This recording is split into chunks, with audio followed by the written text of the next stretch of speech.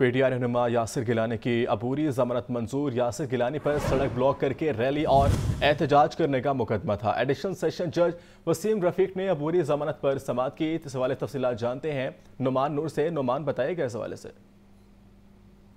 सड़क ब्लॉक करके रैली और एहतजाज निकालने के मुकदमे में मुलविस पीटीआई रहनुमा यासिर गिलानी की अबूरी जमानत पर समात हुई, जबकि अदालत ने यासिर गिलानी की अबूरी जमानत जो है वो कन्फर्म करने का हुक्म जारी कर दिया इस हवाले से एडिशनल सेशन जज वसीम रफीक ने अबूरी जमानत पर समात की, जबकि अदालत ने मुखला के दलाइल मुकम्मल होने पर जो है वो अबूरी जमानत पर फैसला सुनाया, जबकि मुलजम के खिलाफ थाना शादरा पुलिस ने मुकदमा दर्ज कर रखा है। जी, ठीक है, बहुत शुक्रिया नुमान आपका।